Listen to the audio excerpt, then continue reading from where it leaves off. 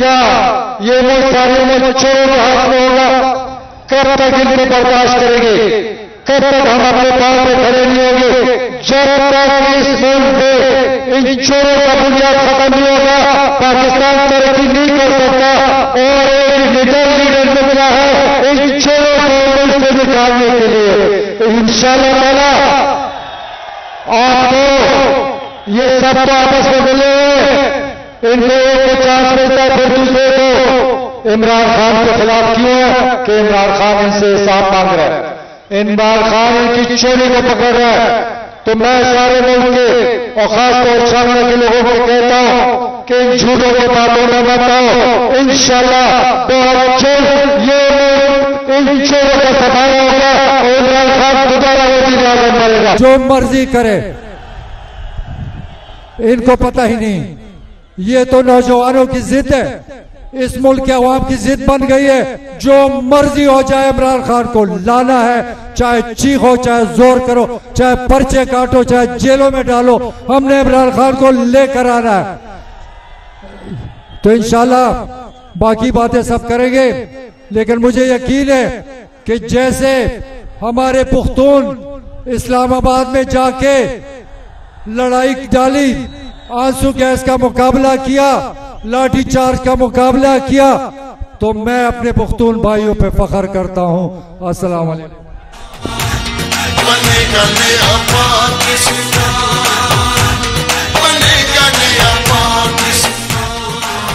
उस द सूबा खैबर पख्तूनख्वा वज़ीर अला जनाब महमूद खान तक गुजारिश कोम चाहो राशि और दखपलो ख्याल इजहार की। जनाब महमूद खान!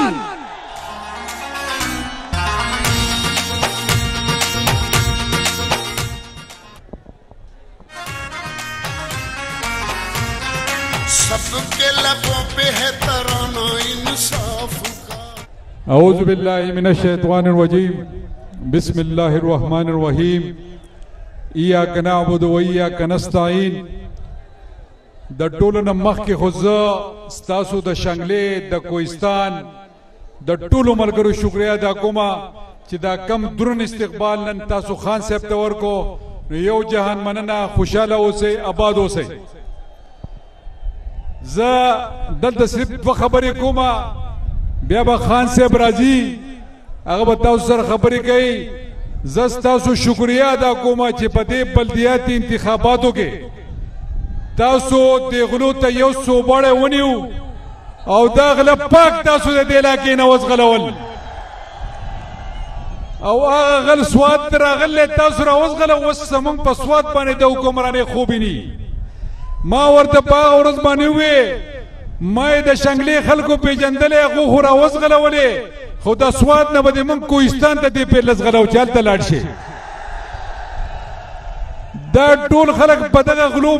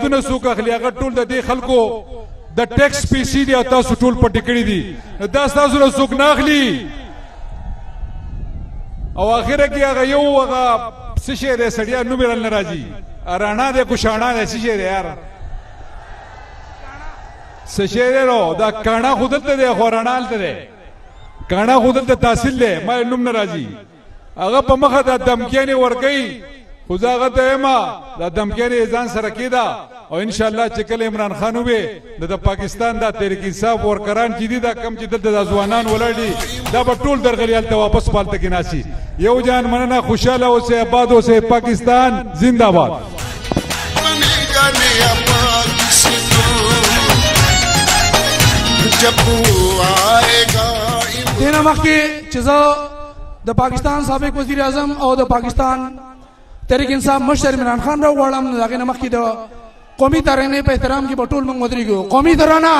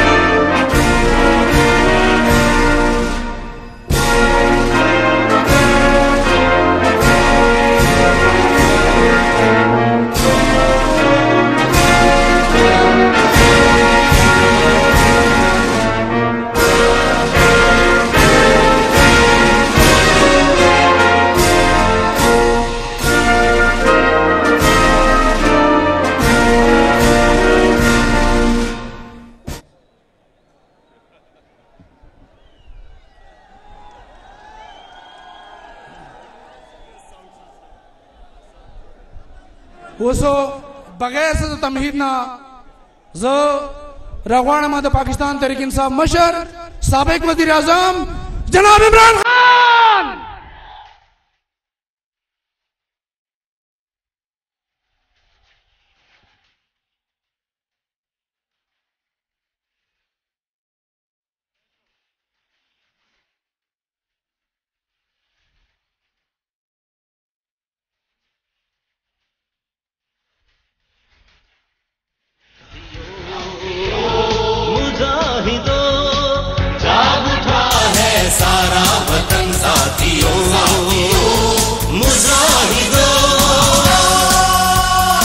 बिस्मिल्लाहिर्रहमानिर्रहीम इय्याक नअबुदु व इय्याक नस्तईन बेशाम पहले तो हाथ खड़ा करके बताओ कि मेरी आवाज़ आप तक पहुँच रही है। शुक्रिया। अच्छा बेशाम खास तौर पे मेरी कौम के नौजवान, मैं आपसे खास तौर पर मुखातिब हूँ। नौजवानों, हमारा मुल्क आज से तकरीबन पचहत्तर साल पहले एक नारे के ऊपर बना था। मेरे साथ आपने बताना है कि वो नारा क्या था? पाकिस्तान का मतलब क्या? मेरा तेरा रिश्ता क्या? ला इलाहा इल्लल्लाह। यानी कि, नौजवानों, सुनो। सब हमारे दीन का राज ला इलाहा में मतलब कि अल्लाह तेरे अलावा कोई खुदा नहीं। और जो शिरक है, वो सिर्फ़ पत्थर के बुतों की पूजा करना शिरक नहीं। शांगला के नौजवानों पैसे के बुद्ध की पूजा शिरक है। झूठ बोलने के बुद्ध की पूजा शिरक है। और खौफ के बुद्ध की पूजा करना सबसे बड़ा शिरक है। क्योंकि खौफ एक एक कौम को, एक इंसान को गुलाम बना देता है। तो शोंगला के नौजवानों याद रखना। कभी कोई बड़ा इंसान नहीं बना जो सबसे पहले खौफ के बुत को नहीं तोड़ता। तो जो कौम खौफ के बुत को नहीं तोड़ती, वो गुलाम बन जाती है। और मैं आज आपके पास आया हूँ। पाकिस्तान की हकीकी आज़ादी की तहरीक के लिए, इस मुल्क को हकीकी तौर पे आज़ाद करना। और आज़ादी क्या है? नौजवानों, आज़ादी क्या है? आज़ादी वो है जब कौम अपने लोगों के मफादात के लिए फैसले करती है। किसी और मुल्क के, किसी और मुल्क के लिए फैसले नहीं करती, अपनी के लिए फैसले करती है। तो आप सबके लिए कि क्यों ज़रूरी है ये? अब पाकिस्तान में पेट्रोल और डीजल की कीमत बढ़ गई है।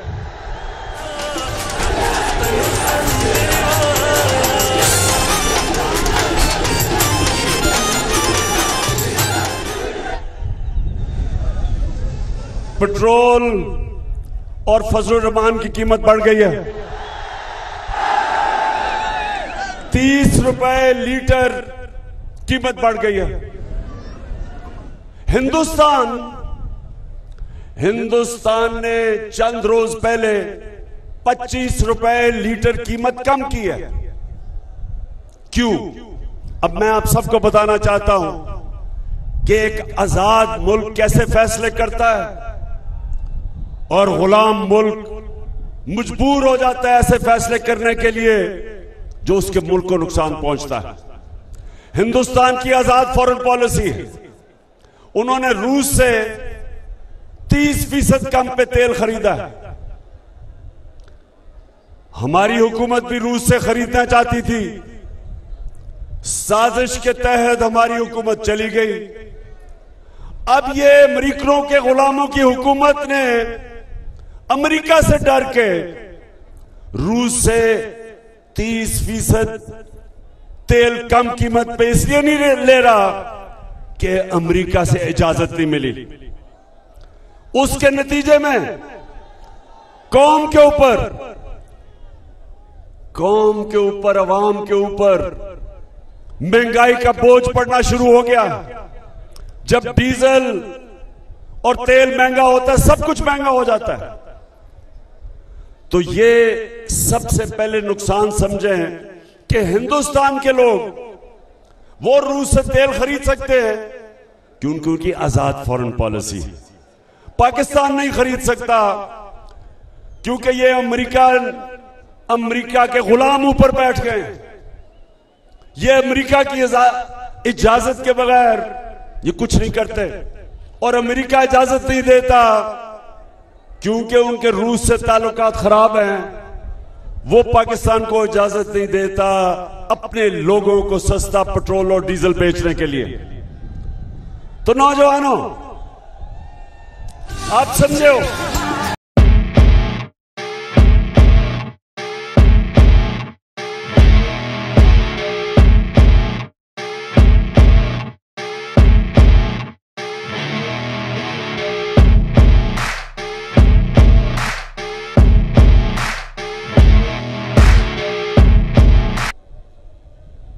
एक कौम अपने नज़रिए पे भी नहीं खड़ी हो सकती। एक पाकिस्तान का डेलीगेशन इसराइल गया इसराइल गया पाकिस्तान का डेलीगेशन उसमें एक सरकारी नौकर भी है, जो सरकारी इदारे में काम करता है। हिंदुस्तान से अच्छे ताल्लुकात करना चाहते हैं, जबकि जबकि हिंदुस्तान कश्मीरियों पर जुल्म कर रहा है। तो ये जो मुल्क की फॉरेन पॉलिसी है, ये मैं आपको समझाना चाहता हूँ कि जब एक अमरीकी साजिश के तहत ये अमेरिका के पुतले ऊपर बैठ गए तो पाकिस्तान जो अपने नज़रिए पे, जो नज़रिए हमारा जो मुल्क का नज़रिया था, जो कायद आज़म मोहम्मद अली जना ने कहा कि हम कभी भी इसराइल को, हम कभी इसराइल को रिकग्नाइज नहीं करेंगे जब तक फलस्तीनियों से इंसाफ ना हो। यह कायद आज़म ने हमें आज से तकरीबन पचहत्तर साल पहले यह हमारा नज़रिया था। और ये हमारी हुकूमत का भी नज़रिया कि आप कभी भी इसराइल को नहीं मान सकते जब तक फलस्तीनियों से इंसाफ हो। लेकिन ये अमेरिका की गुलाम हुकूमत, जो एजेंडा हिंदुस्तान, इसराइल और अमेरिका का है, वो लागू कर रही है। और ये होती है गुलामी। ना ये कश्मीर पे बात करेगा, जो आपके पास अभी तकरीर करके गया, चेरी ब्लॉसम, शबाज शरीफ। उसने सुना, कहा, मैं अपने कपड़े भी बेच दूँगा। कपड़े बेच देने चाहिए, क्योंकि गंदम आटे की कीमत आप मुझे बताएँ कि जब से ये आए हैं, आटे की कीमत किधर गई है? महँगा हुआ आटा, पेट्रोल, डीजल, बिजली महँगी हुई। तो उसने जब यहाँ खड़े होकर आपके सामने तकरीर की तो आपने उससे पूछना चाहिए था कि आप अमेरिका की गुलामी क्यों कर रहे हैं? तो वो उसने आपको जवाब, अगर सच्चा जवाब ये देता कि उसके और उसके खानदान के सारे पैसे मुल्क से बाहर पड़े हैं और उसको खौफ है कि अगर अगर अमेरिका नाराज़ हो गया तो उनके पैसे चले जाएँगे। तो इसलिए शांगला, आज मैं आपसे वादा लेने आया हूँ। कि आपने मेरे साथ खड़ा होना है मेरे या हकीकी आज़ादी की तहरीक में। आपने आपने जो अल्लाह से वादा किया हुआ है कि ला इलाहा स्वाय अल्लाह के कोई खुदा नहीं। हम किसी सुपर पावर को नहीं मानते। हम सिर्फ़ झुकते हैं तो अपने अल्लाह के सामने। हम सच पे खड़े होते हैं। हम हक पे खड़े होते हैं। हम खौफ के बुत को तोड़ के हम सिर्फ़ और सिर्फ़ अपने नज़रिए पे चलते हैं। और इसलिए मैं आज आपको सबको तैयार कर रहा हूँ। पख्तूनख्वा में मैं हूँ। परसों तक अपनी तंजीमें तैयार कर रहा हूँ। अपनी पूरी प्लानिंग कर रहा हूँ कि इंशाला ये जो हमारी आज़ादी की तहरीक है ये, ये तब तक चलेगी। जब तक साफ़ और शफाफ इलेक्शन ये हुकूमत नहीं करवाएगी। अच्छा आगे। मैं आज अपनी कौम के सामने जरा ये आप नौजवानों गौर से सुनना आपने मेरी बात। जब इन्होंने अमेरिकी साजिश के तहत जिधर एक अमेरिकन डोनाल्ड लू उसने हमारे सफीर को कहा, उसने क्या कहा सफीर को? कि अगर तुम इमरान खान को नहीं हटाओगे तो हम पाकिस्तान के लिए मुश्किलें पैदा कर देंगे। और अगर तुम इमरान खान को हटा के चेरी ब्लॉसम शबाज शरीफ को ले आओगे तो हम तुम्हें माफ़ कर देंगे। तो मेरे मेरे शांगला के नौजवानों क्या हम इस इंपोर्टेड हुकूमत को मानते हैं? ना ही हमारी कौम मानती है। हमारी कौम चाहती है।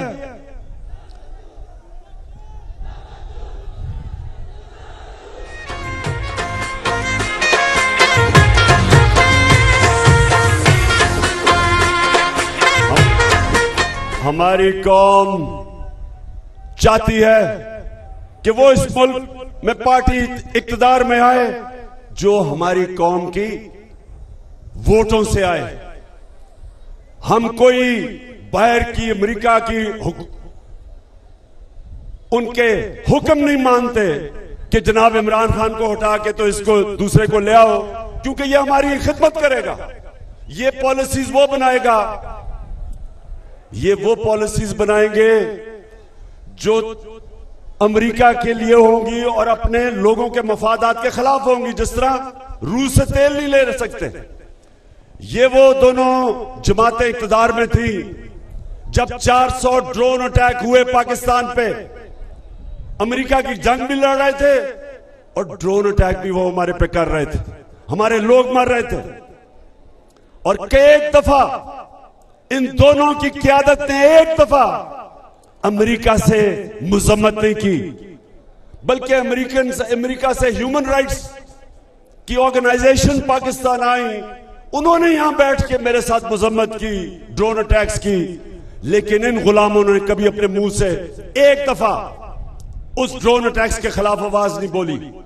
कभी दुनिया की तरह में नहीं ये हुआ कि जिसके लिए आप जंग लड़ रहे हैं, वो आपके ऊपर ही अटैक कर रहा है और आपके लोग मार रहा है। 400 बॉम्ब अटैक करता है जिसमें औरतें बच्चे मरते हैं। लेकिन कभी मजम्मत नहीं करते। इसलिए इनको वो लेके आए हैं। और इसलिए नौजवानों, हमने अपनी हकीकी आज़ादी की पूरी तहरीक चलानी है। और फिर से तैयार हो आप, खौफजदा तो नहीं होगे।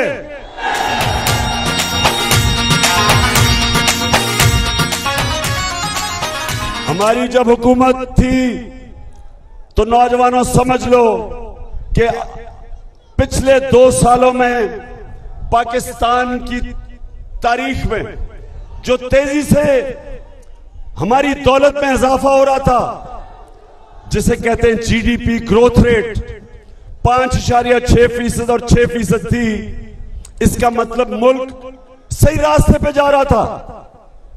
हमारे किसानों को कभी फ़सलों में इतना पैसा नहीं मिला और इतनी पैदावार नहीं हुई जो कि हमारे दौर में हुई। और इंडस्ट्री जिसके ऊपर रोज़गार लोगों को मिलता है, हमारे दौर में 50 साल के बाद इंडस्ट्री ने तेज़ी से तरक्की करनी शुरू की। हमारा आमदनी बढ़ गई, हमारी टैक्स कलेक्शन बढ़ गई, हमारी एक्सपोर्ट्स बढ़ गई। हमारी ओवरसीज पाकिस्तान की रिमिटेंसेस रिकॉर्ड पर चली गई। यानी दौलत में इजाफा हो रहा था, तब इन्होंने साजिश करके हमारी हुकूमत कराई। तो मेरे नौजवानों, अब सवाल यह है कि जो आज हालात हैं, रुपया गिर रहा है, मुल्क की दौलत में कम, कमी आ रही है, महँगाई बढ़ रही है लोड शेडिंग लोड शेडिंग के रिकॉर्ड टूट गए हैं। तो सवाल ये हम पूछते हैं कि जिन जो भी इस साजिश में मुलविस थे, तारीख आपको भूलेगी नहीं। ना ये तारीख आपको माफ़ करेगी, ना पाकिस्तान की आवाम आपको माफ़ करेगी। वो लोग जिन्होंने जब तेज़ी से मुल्क और मुश्किल वक्त में कोरोना जो सौ साल में एक दफ़ा कोरोना एक मुल्क में, एक दुनिया में आया था, उस दौर में जिस हुकूमत ने अपने मुल्क को निकाला और तरक्की की तरफ़ ले गया, सारे बर्रे सगीर में सबसे ज़्यादा रोज़गार इस दौर में पाकिस्तान ने अपने लोगों को दिया। बल्कि पिछली हुकूमतों के मुकाबले में हमने सबसे ज़्यादा रोज दिया, रोज़गार दिया अपने लोगों को। तो उस वक्त ये साजिश हमारे खिलाफ हुई। और आज जो लोग ऊपर आ गए हैं, नौजवान जरा सुनो, अब ऊपर आ गए वो इस मुल्क को तबाही की तरफ़ लेके जा रहे हैं। माशी हालात तो आज सबके सामने है। लोगों को खौफ ये है कि मुल्क का दिवालिया निकलने की तरफ़ मुल्क जा रहा है। जिस तेज़ी से रुपया गिर रहा है, कर्जे बढ़ रहे हैं, महँगाई बढ़ रही है। अगर इस वक्त ये मुल्क ना संभाला गया और इसका दिवालिया निकल गया। तो मैं आज पाकिस्तान की एस्टेब्लिशमेंट को पैगाम देना चाहता हूँ कि सोवियत यूनियन दुनिया की दो सबसे बड़ी ताकतें थी अमेरिका और सोवियत यूनियन लेकिन जब उनकी माइशत नीचे गई तो वो सोवियत यूनियन टूट गया। फौज, उनकी तकड़ी फौज उनको इकट्ठा नहीं रख सकी। तो जिस तरफ़ हमारा मुल्क जा रहा है, विशाखम एस्टेब्लिशमेंट आप कहते हैं हम न्यूट्रल हैं, बिस्मिल्लाह न्यूट्रल हो।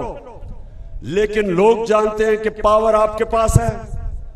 और कौम अगर इस तरफ़, नीचे जिस तरफ़ ये लेके जा रहे हैं, जो चोरों का टोला मुल्क को नीचे लेके जा रहा है, लोग आपकी तरफ़ देख रहे हैं। और तारीख इस रोल को भी माफ़ नहीं करेगी कि मुल्क नीचे चला जाए और आप कहे हम न्यूट्रल हैं। और ये चोर जो कि अमेरिका की साजिश की वजह से ऊपर बैठे हुए हैं, ये मुल्क का दिवालिया निकाल दें। ये सिर्फ़ और सिर्फ़ इस मुल्क में दो काम कर रहे हैं। अपने करप्शन के केसेस खत्म कर रहे हैं। नैब को खत्म कर रहे हैं, जिधर इन सबके करप्शन के केसेस हैं। पहले जनरल मुशर्रफ ने इनके करप्शन के केस माफ़ किए जब उसने एनआरओ दिया। वो सारे माफ़ हुए, दस साल में जो करप्शन उन्होंने की, अब ये उसके ऊपर एनआरओ मिल रहा है इनको।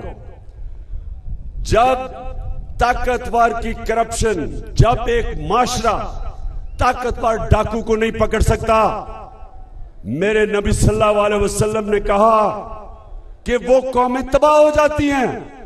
जो ताकतवर डाकू को नहीं पकड़ती और सिर्फ़ छोटे चोरों को पकड़ती है, वो कौम तबाह हो जाती है? सिर्फ़ ये अपने केसेस माफ़ करवा के नैब का इदारा एफआईए का इदारा सिर्फ़ तबाह नहीं कर रहे हैं। ये सारे पाकिस्तान के इदारे जिसके ऊपर एक मुल्क खड़ा होता है, वो तबाह कर रहे हैं। ये पुलिस का गलत इस्तेमाल कर रहे हैं। ये पुलिस का इस्तेमाल कर रहे हैं झूठे केसेस करने पे, एफआईआर करने पे, डराने, धमकाने पे पुरमन एहतजाज के ऊपर, जिधर औरतें बच्चे थे, इन्होंने जो जुल्म किया, ये सिर्फ़ पाकिस्तान में एक दफ़ा हुआ था जो मुझे याद है। जब एमआरडी पीपल्स पार्टी की एमआरडी की मूवमेंट थी मिलिट्री डिक्टेटरशिप थी, तब जुल्म किया गया था लोगों पे ऐसे। पुरमन एहतजाज जमहूरियत में हम सब का हक है। उसके ऊपर जुल्म करना किस, किसी जमहूरियत में इजाज़त नहीं देता। किसी जमहूरियत का आइन। तो ये वो लोग आए हैं जो क्योंकि इलेक्शन तो वो जीत नहीं सकते। पब्लिक में तो वो निकल नहीं सकते। अवाम में जाते हैं तो उनको नारे लगते हैं चोर के और गद्दार के।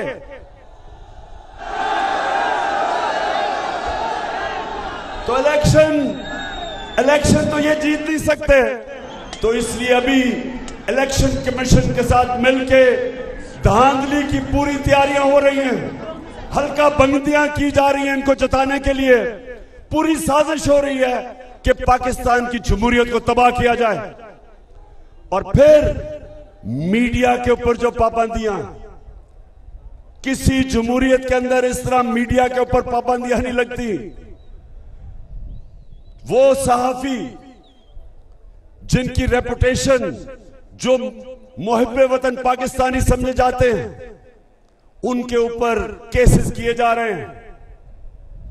इमरान रियाज खान पे, अरशद शरीफ पे, समी इब्राहिम पे, साबर शाकर पे आई आर वाई के ऊपर हर किस्म की चाहे उसको कभी नीचे कर देते हैं, कभी ऊपर के लोग देख ना सके। बोल टेलीविज़न।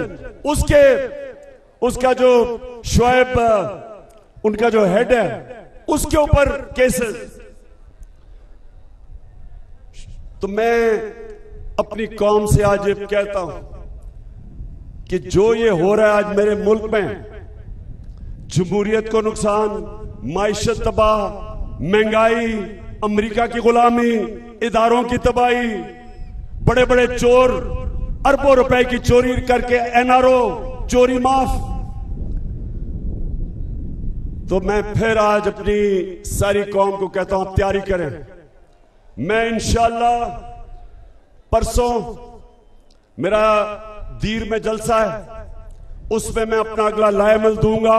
सुप्रीम कोर्ट ने जो फैसला किया है, उसके ऊपर हम स्टडी कर रहे हैं।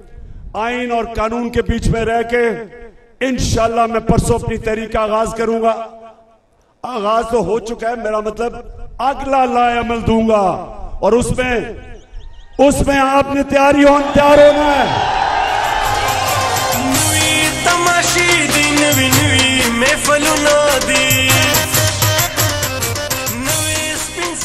नवी खुली दी। नन सर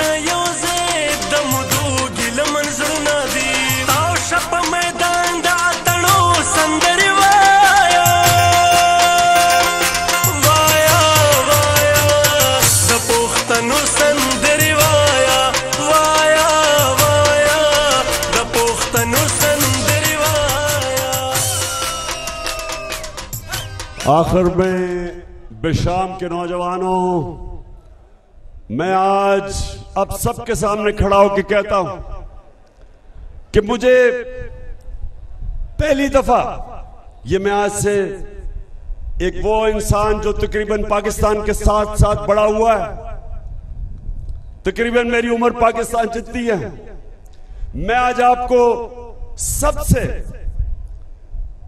अब अब इसका क्या कहूँ कि मुझे जितनी खुशी है इस चीज़ पे, अपनी ज़िंदगी में जो मुझे खुशी हुई,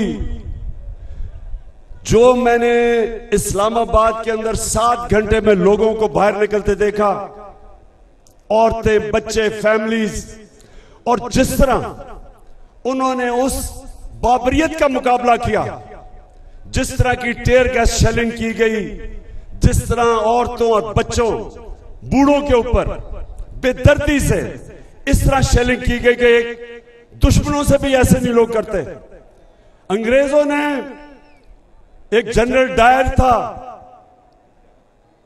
1919 में उसने डेढ़ सौ लोगों के ऊपर गोली चला के उनको मार दिया। लेकिन हम गुलाम थे तब। गुलामों के ऊपर कोई बाहर से जो कब्जा करता है, वो इस तरह की बारबरियत करता है। लेकिन जिस तरह ये जो हुकूमत है जिसमें शबाज शरीफ और ये जो कातिल राना सनाउल्ला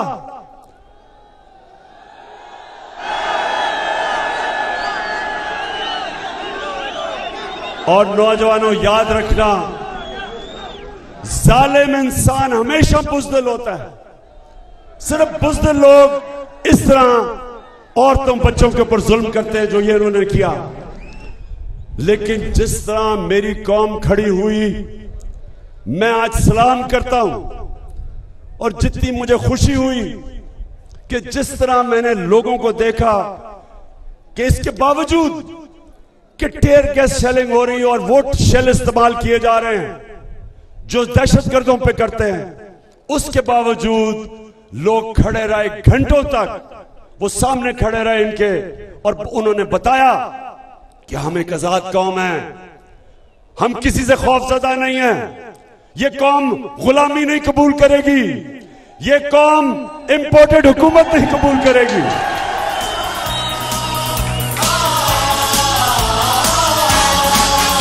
आज मजलूम जालिम से टकराएँगे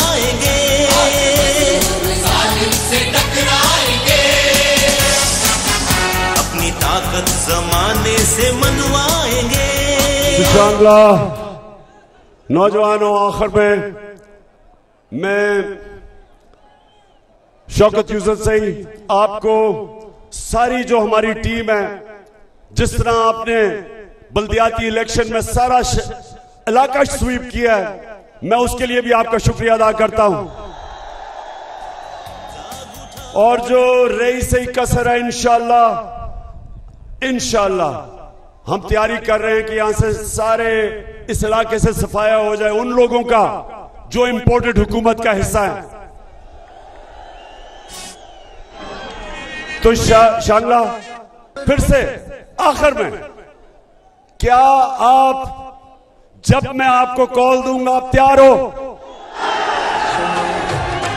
समुंदर से लीडर खौफ का बुत आपने तोड़ दिया है।